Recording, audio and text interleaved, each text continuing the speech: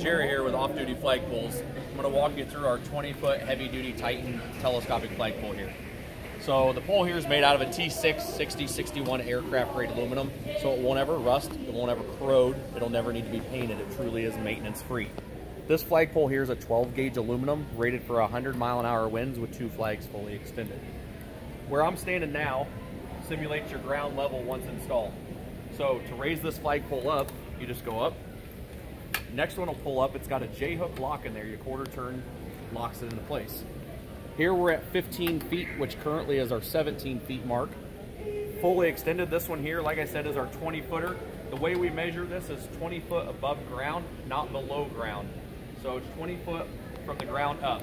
To lower it, you just lift, twist, let it down.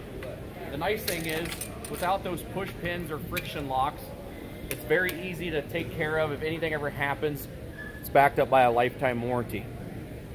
Installation, it's gonna come with a ground sleeve, just like you see right over here. We get a nylon tube with it. You're gonna dig an 18 inch diameter hole, two and a half feet deep, six inches of pea gravel at the bottom for water drainage. Set that sleeve on top and then pour Sakrete around that sleeve. So if you ever move, you take the flagpole with you and get a new ground sleeve. And that's how you take care of the 20 foot heavy duty Titan telescopic flagpole.